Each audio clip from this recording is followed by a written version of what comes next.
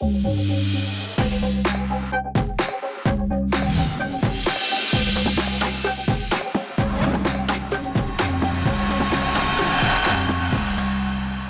La Habana, Cuba, te doy la bienvenida con Género, un espacio que promueve el diálogo y la equidad entre todas y todos. Soy Maicel Bello Cruz y ya te invito a que te mantengas con nosotros para que conozcas lo más relevante en materia de género. Hoy te proponemos un programa especial dedicado a la visibilización y análisis de los crímenes del bloqueo económico, comercial y financiero impuesto por Estados Unidos contra Venezuela y las consecuencias que esto tiene sobre los derechos sexuales y reproductivos de las mujeres. En Batallas por la Equidad conoceremos el trabajo del colectivo feminista en acción libre y directa por la autonomía sexual y reproductiva, conocido como Faldas R. Y en Cultura con Género te mostraremos el trabajo artístico de Natalie Bonilla, una venezolana que hace de la ilustración una herramienta económica para autosustentarse. Guerra económica, bloqueo, sanciones, agresiones financieras, palabras que muchas veces se usan a la ligera, pero cuyos resultados tienen rostros, cifras, nombres e identidad. Venezuela es un país acostumbrado a romper con los esquemas mediáticos. Cuando sus enemigos creen que el bloqueo de alimentos llevará al pueblo violento a la calle, se les puede ver inventando nuevas alternativas para resolver sus problemas. Aseguramos el alimento, lo estamos asegurando, ya me estás viendo, estamos asegurando el alimento de mi comunidad y de todas las comunidades. Estamos todos bien, corazón. Gracias a mi comandante. Nosotros recibimos lo que es el incremento de la producción, lo que es la harina, arroz, azúcar, granos, aceite, este, pastas, atunes y nosotros esto nos permite llevar a la cesta básica de nuestras mesas los CLAC surgen como respuesta del gobierno venezolano para hacer frente a los ataques financieros y económicos del país.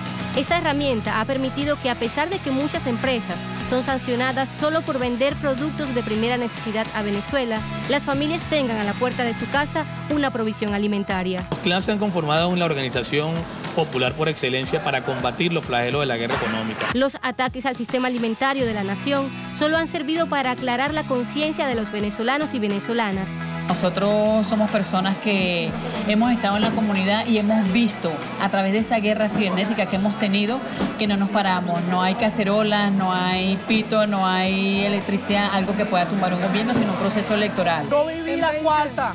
Yo viví la cuarta, le está diciendo a la juventud ahorita, yo viví la cuarta. Pero es importante que el mundo sepa. Una, una planchecita y te pintaban el frente de la casa, más nada. Había comida en los anaqueles y había, pues no había plata, no había trabajo, no había nada. Ah, no te social no Yo soy agropólogo, ahora técnico en agroecología. El reto que asume el pueblo venezolano ante los ataques unilaterales de gobiernos como Estados Unidos y sus aliados europeos supera por mucho al reto que asumió junto a Hugo Chávez, líder de la revolución bolivariana. Misma revolución que luego de 20 años sigue siendo la piedra en el zapato de los gobiernos imperiales. Tripiando es una línea de accesorios femeninos que busca la preservación del ambiente a través de la reutilización de materiales desechados como la tripa de caucho. Su creadora, Luisa Nieto, concibió la iniciativa como fortaleza frente a las amenazas. Soy madre de dos hijos. Eh, hace unos cuantos años, bueno, me quedé sin pareja y debido a ello me tocó emprender y echarle pichón a la vida como tiene que ser. Y bueno, un buen día me tocó decidir entre mi empleo que tenía, que verdaderamente devengaba un buen sueldo, y mis hijos, porque mis hijos cambiaron el horario, no tenía quien me los buscara, quien me los trajera, y debido a todo eso, este, bueno, me tocó renunciar al empleo que tenía.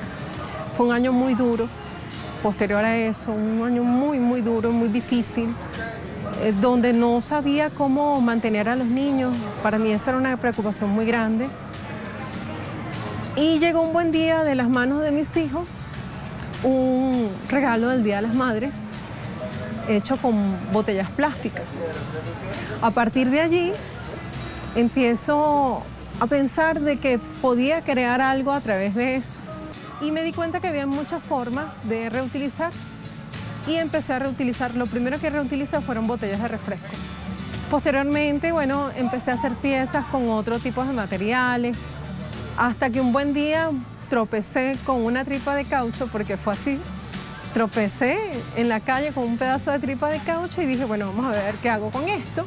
Por medio de Tripeando, Luisa es conocida dentro y fuera de su país y en tres años reconoce que encontró una motivación.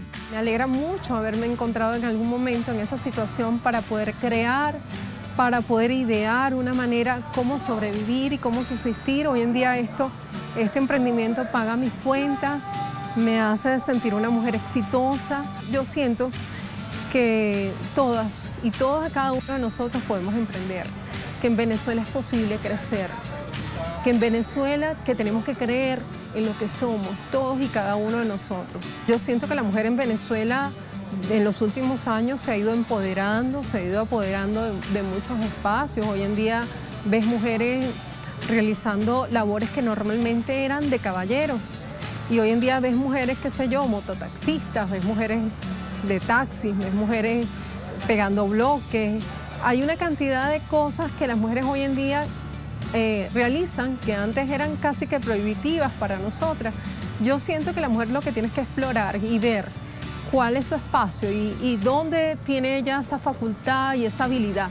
Como Luisa Nieto, son millones las mujeres venezolanas que apuestan por el país que las vio nacer y encuentran en los obstáculos la inspiración para el futuro.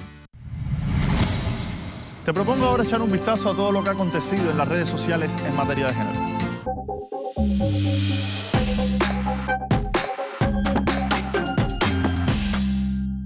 Esta semana el pueblo venezolano se unió para impulsar la etiqueta CLAC contra el bloqueo, para denunciar nuevas sanciones económicas de Estados Unidos, esta vez contra 10 de las 12 empresas que abastecen de alimentos este programa político y alimentario nacional impulsado por el gobierno venezolano. Los movimientos y colectivos sociales también se unificaron en la etiqueta Trump desbloquea Venezuela para denunciar al presidente estadounidense responsable de las sanciones que impiden el ingreso de medicamentos y material estratégico a la nación venezolana.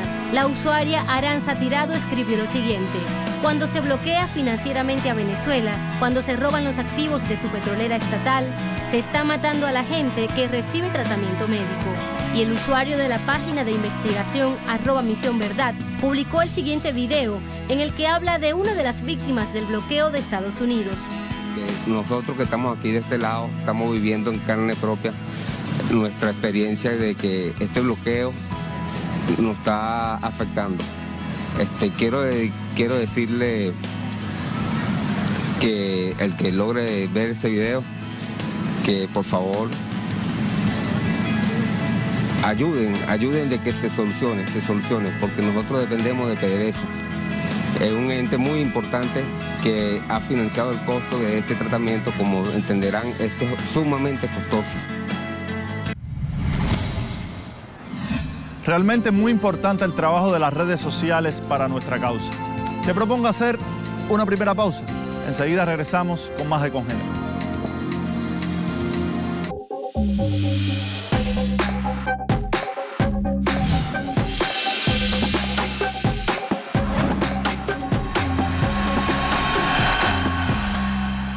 En perspectiva colocamos el foco en un tema que poco se aborda en la industria mediática, el bloqueo económico ilegal que se aplica contra el pueblo venezolano y que incide de manera directa en muchos sectores de la sociedad.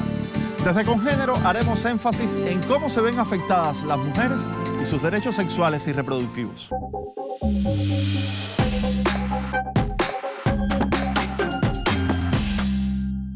Las sanciones y bloqueos económicos impuestos a Venezuela por parte de Estados Unidos y sus aliados europeos tienen como objetivo debilitar la soberanía de la nación, afectando la cotidianidad de sus habitantes. Es una vulneración de los derechos humanos de todas y de todos. En todas las áreas. Nosotros lo vemos desde, desde lo que son los principales derechos humanos este, que debemos gozar todas y todos, este, desde la perspectiva de género, desde la perspectiva del ciclo de vida, desde, lo que es la interculturalidad, vemos que es una violación sistemática, una violación que, que, ha sido progresiva y, y precisamente afecta nuestra cotidianidad. Si bien toda la población se ve afectada por esta situación, uno de los blancos más vulnerables son las mujeres venezolanas, quienes se ven limitadas a acceder a sus derechos sexuales y reproductivos en esta situación de asedio. La salud sexual y reproductiva es un compendio de derechos que tenemos las mujeres, que va desde poder elegir cuántos hijos tenemos, poder elegir libremente si queremos estar embarazadas o no, es decir, planificación familiar, como tener acceso a nuestros métodos anticonceptivos o a un chequeo médico pertinente. Eh, también pasa por tener la educación sexual mm, que sea laica, que eh, esté liberada de sistema patriarcal que, que permita que nosotras podamos formarnos sexualmente y podamos tomar decisiones. Una de las herramientas fundamentales para hacer uso adecuado de tus derechos tanto sexuales como reproductivos son sin duda alguna los anticonceptivos, los métodos anticonceptivos, eh, ya sean eh, anticonceptivos orales, inyectables, los dispositivos intrauterinos, este, los métodos de barrera, condón masculino, femenino, diafragma, etcétera, etcétera. Eh, lastimosamente ahorita, como tú me preguntas, estamos sometidos a un bloqueo criminal, criminal que no nos permite muchas veces, em, si tenemos, em, digamos, el dinero para comprar eh, estos anticonceptivos, este, por el mismo bloqueo muchas veces no los podemos eh, ingresar al país. Los derechos sexuales y reproductivos forman parte de los derechos humanos, por ende son indispensables para la calidad de vida de las mujeres. Como ocurre con las mujeres, la comunidad sexogénero diversa también califica como vulnerable ante las consecuencias directas del bloqueo económico, comercial y financiero. Este, hay un aumento en el número de embarazos no deseados. Se incrementa el número de embarazos en adolescentes que tienen más riesgo que un embarazo este, normal, pues en, edades eh, que debe salir embarazada, ¿ok? Este, se incrementa el, número de enfermedades de transmisión sexual y de infecciones de transmisión sexual porque no existen los métodos para protegerte. Este, se incrementa el índice de pacientes VIH-Sida. Eh, se incrementa también la violencia, sobre todo la violencia de género, ¿verdad? Pues de alguna manera no te permite el disfrute que estábamos hablando pleno de tu, de tu sexualidad. Son algunas de las consecuencias que nos ha traído este, este bloqueo.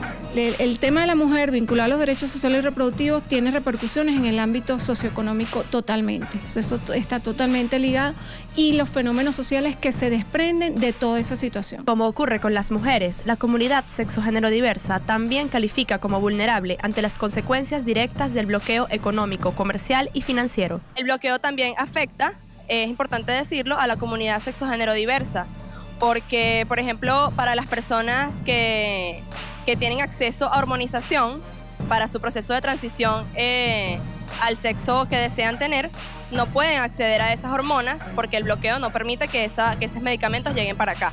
Acabamos de hacer una denuncia contra el gobierno del presidente estadounidense Trump por violación a los derechos humanos de las personas con VIH-Sida al impedirle adquirir los medicamentos a nuestra patria, nuestro gobierno revolucionario bolivariano, que es el que suministra estos medicamentos de manera gratuita.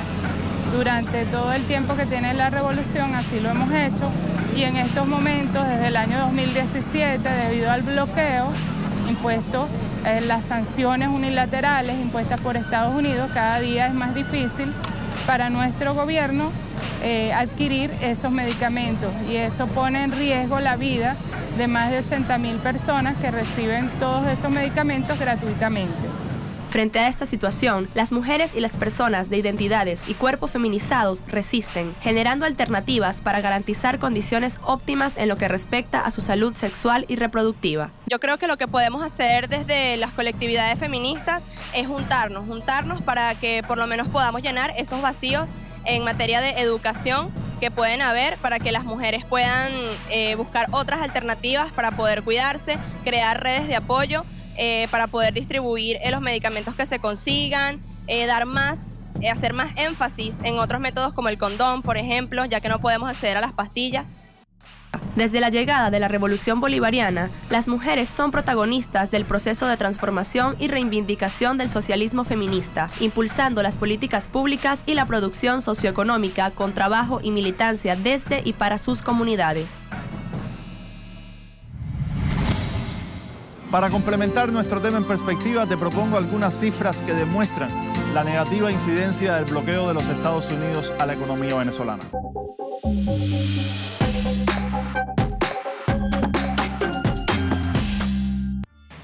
Según proyecciones publicadas por el Instituto Nacional de Estadísticas de Venezuela, en el país existe una proporción de 50,12% de hombres y 49,88% de mujeres, ambos en edades productivas y de desarrollarse como profesionales. Aún así, las sanciones económicas y financieras impuestas por Estados Unidos contra esta nación petrolera afectan este derecho, sobre todo el de las mujeres, quienes ejercen dos cargas laborales, en ocasiones no relacionadas con su formación, más la administración de los recursos del hogar. Tiempo para una segunda pausa en Congénero. Enseguida regresamos.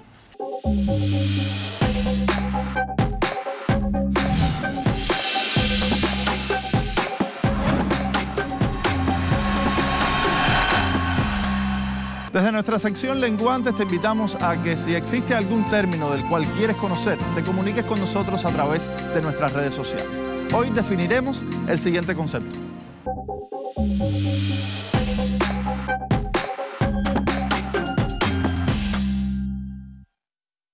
El equipo de investigación en trompe de falopio publicó en noviembre de 2018 un informe que detalla los derechos sexuales y reproductivos de las mujeres garantizan la toma de decisiones con respecto a su sexualidad y procreación, con libertad y seguridad, sin presión ni violencia, pero las condiciones económicas afectan los derechos que se hicieron ley en Venezuela desde el año 2003.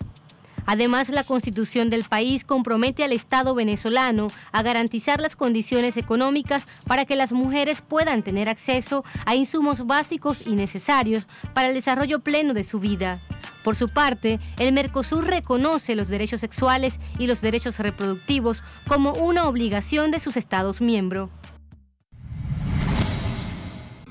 En nuestro segmento Batallas por la Equidad, el colectivo Faldas R nos cuenta sobre el trabajo hecho desde la comunidad en la búsqueda del empoderamiento de las mujeres y el alcance de garantías de una sexualidad segura y placentera, en un contexto nacional de asedio foráneo y donde la mujer es uno de los principales blancos, pero también agente de resistencia.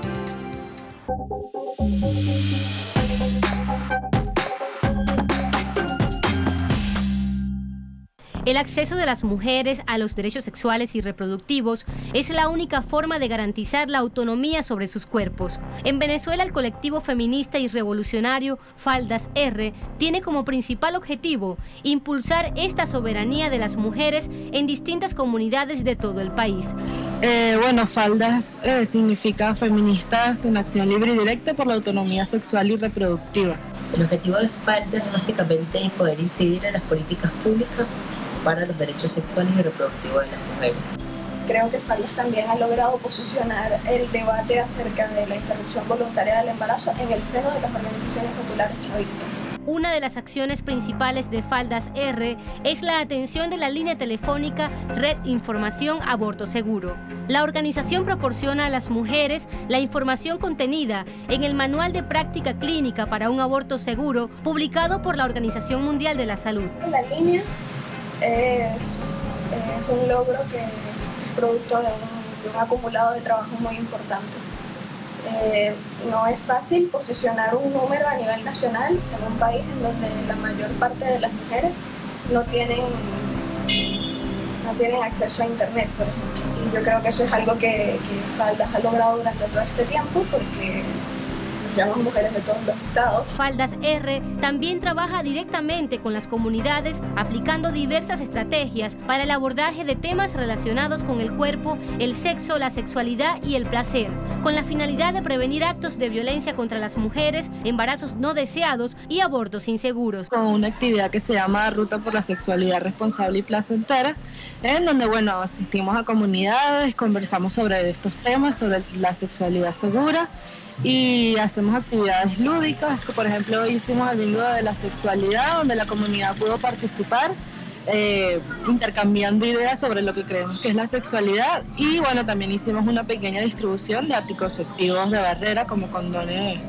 femeninos y masculinos. En el panorama de bloqueo actual que se vive en Venezuela, en el que los derechos sexuales y reproductivos de las mujeres se ven vulnerados, Faldas R se posiciona como una trinchera de resistencia. Su horizonte político es la construcción del feminismo socialista a través del trabajo en los grupos sociales de base y el acompañamiento de mujeres de diversos territorios y comunidades en sus procesos de empoderamiento y lucha contra los diversos tipos de violencia a los que se ven expuestas las mujeres frente al asedio capitalista. Hoy en Cultura con Género disfrutaremos el arte de la ilustradora venezolana Natalie Bonilla.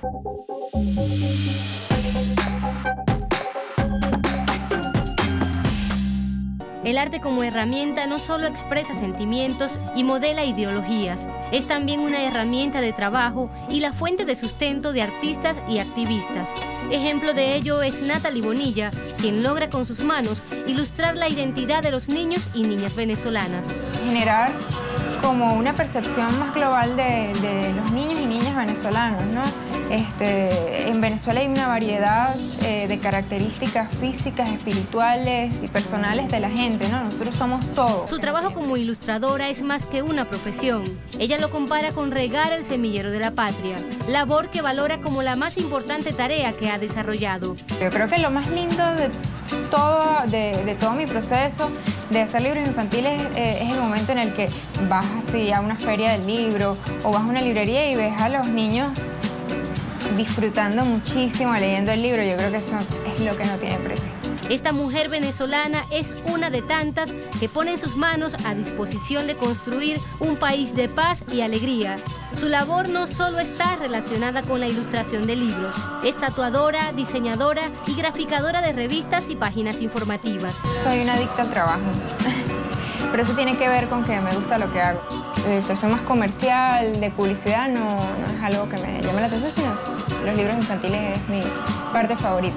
Natalie Bonilla desde niña supo lo que quería y hoy es una de las venezolanas que a través del arte dibujan una versión de su país que los medios internacionales no muestran.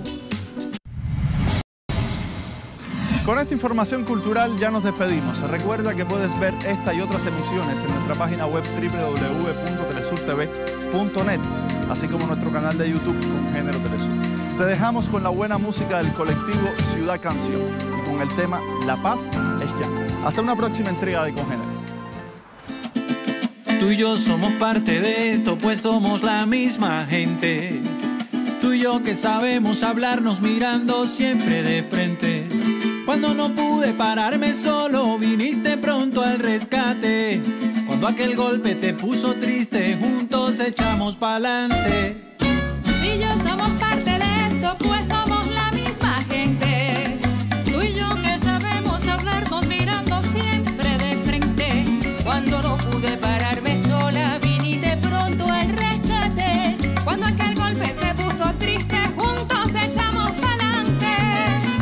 Sueños con esperanzas para abonar este suelo. Pusimos surco y semilla y les cantamos el duelo. Ahora que viene la floración y con ella el grano y el pan. La garantía del poderoso no quiere echar a pelear. Ahora que todos estamos claros que es bueno el suelo y es bueno el clima. Sepan también que no dejaremos patria es lo que somos. La